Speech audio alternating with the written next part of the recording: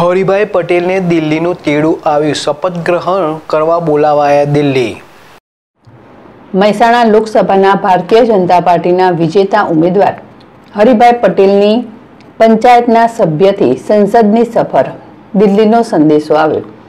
Mehsana railway સ્ટેશને મોટી સંખ્યામાં કાર્યકર્તાઓ ઉપસ્થિત રહીને હરિભાઈ પટેલને દિલ્હી જવા રવાના કર્યા હતા. હરિભાઈ પટેલે કહ્યું કે નરેન્દ્ર મોદી સાહેબના સૈનિક તરીકે મહેસાણાથી દિલ્હી જવા માટે મહેસાણા રેલવે સ્ટેશન પર આવ્યો છું. ભાવિન ભાવસાર, જેડેશ ટીવી, મહેસાણા.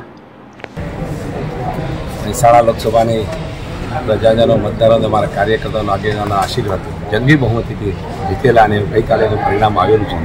અને એમના સૌના આશીર્વાદથી આજે દિલ્હી જવાનો સંદેશો આવે છે ત્યારે.